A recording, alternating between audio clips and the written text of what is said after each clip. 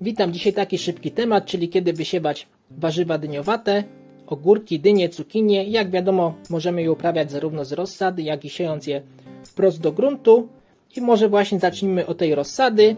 I rozsadę warzyw dyniowatych, warzyw ciepłolubnych sadzimy do gruntu dopiero kiedy minie ryzyko przymrozków, czyli najczęściej jest dopiero po połowie maja, po 15 maja, a czas produkcji takiej rozsady zajmuje około miesiąca. Od wysiania aż do posadzenia mija około 25-30 dni, przy czym tutaj przy ogórkach zaznaczyłem, że to może być oczywiście krócej, ogórki szybciej rosną i w fazie sadzonki e, jest to zdecydowanie mniejsza roślina niż dynia czy cukinia, to po pierwsze, a po drugie spotkałem się też z takim zdaniem, że ogórki, sadzonki ogórków starsze niż te 30 dni gorzej się przyjmują, no ale może być to spowodowane po prostu tym, że ogólnie warzywa dyniowate słabo znoszą jakiekolwiek przesadzanie. No i dobrze, i teraz mamy ten nasz punkt wyjścia, punkt sadzenia właśnie rozsady warzyw dyniowatych do gruntu. Jest to 15 maj. Teraz odliczam sobie po prostu ten miesiąc, kiedy można tą rozsadę byłoby zacząć wysiewać. I wychodzi, że to jest 15 kwiecień, bardzo dobra data, akurat to jest e, Wielki Piątek. Nawet jest takie powiedzenie, że Wielki Piątek to dobry siewu początek. I wszystko było, było ok, tylko że niestety już tutaj w sobotę, Wielką Sobotę jest pełnia. Więc następne dobre terminy na wysianie warzyw dyniowatych dopiero będą od Wielkanocy aż do 22.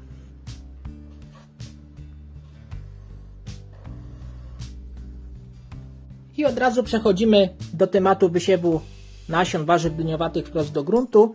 Oczywiście zwracamy też uwagę tutaj na okolice 15 maja, na te e, majowe przymrozki, ale druga sprawa jest taka, że zwracamy uwagę na temperaturę podłoża, która powinna wynosić kilkanaście stopni y, powyżej zera, 13-15, a najlepiej gdyby wynosiła powyżej 16, wtedy ogórki powinny bez problemu kiełkować, bo kiedy będzie ta temperatura podłoża poniżej 10 stopni, wtedy niestety ogórki w ogóle nie zaczną kiełkować, a jeśli będzie do tego, będą do tego sprzyjające warunki, czyli yy, wilgotne powietrze, wilgotne podłoże, to po prostu te nasiona ogórków zaczną nam w glebie gnić i już niestety nic tego nie wykiełkuje.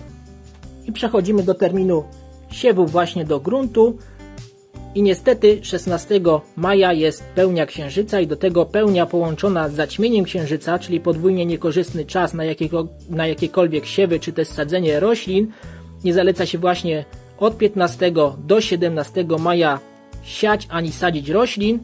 No i następny dobry termin będzie dopiero od 18 do 21 maja.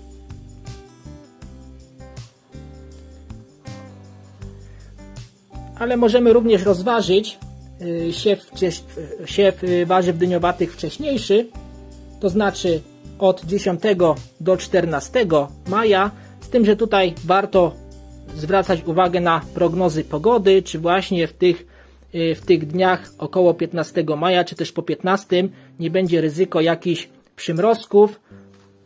Myślę, że już tego 10 maja w prognozach będzie to wiadomo więc można tutaj spróbować wysiewać sobie troszkę wcześniej. Wiadomo, one, te warzywa dyniowate, troszkę to potrwa, zanim wzejdą, ale tak jak mówiłem, należy też również zwracać uwagę na temperaturę podłoża. Bo następne dobre terminy na siew warzyw dyniowatych wprost do gruntu to dopiero w czerwcu, od początku czerwca aż do 14 do połowy miesiąca, dla jednych może być to za późno, ale warto też zwrócić uwagę na to, że na pewno na, żadne nam już tutaj przymrozki w tych dniach nie będą zagrażały. No i też podłoże będzie już dostatecznie ogrzane, także nie będzie tutaj żadnego problemu ze wschodami właśnie tych roślin. A ciekawą opcją również może być siew nasion warzyw dyniowatych wprost do gruntu y, w okolicach święta Zielonych Świątek, szczególnie właśnie we Wigilię Zielonych Świątek, bo wiadomo, nikt nikogo tutaj nie namawia do pracy y, w święto. Zielone Świątki przypadają 5 we Wigilię, czyli 4 czerwca.